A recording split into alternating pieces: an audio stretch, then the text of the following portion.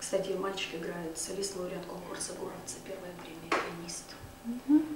Посмотрим. Юрій Шамо. Концертні варіації для віолончелі та струнних пам'яті загиблих у Бабиному Яру. Солістка Тетяна Поспєлова.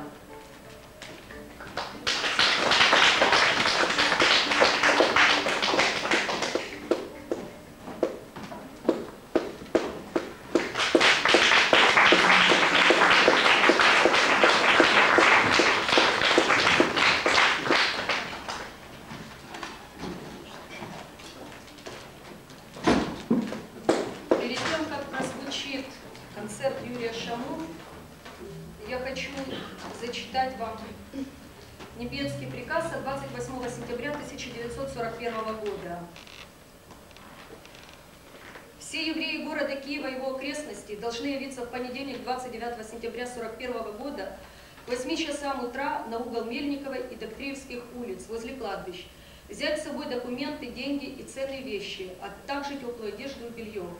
Кто из евреев не выполнит этого распоряжения и будет найден в другом месте, будет расстрелян.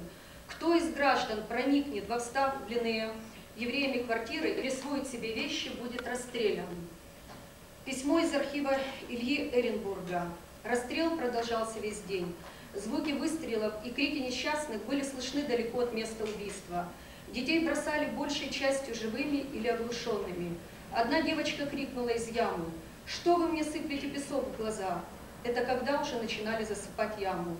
Многие евреи, догадавшиеся о готовящейся им участи, предпочли покончить с собой, чем пойти на убой.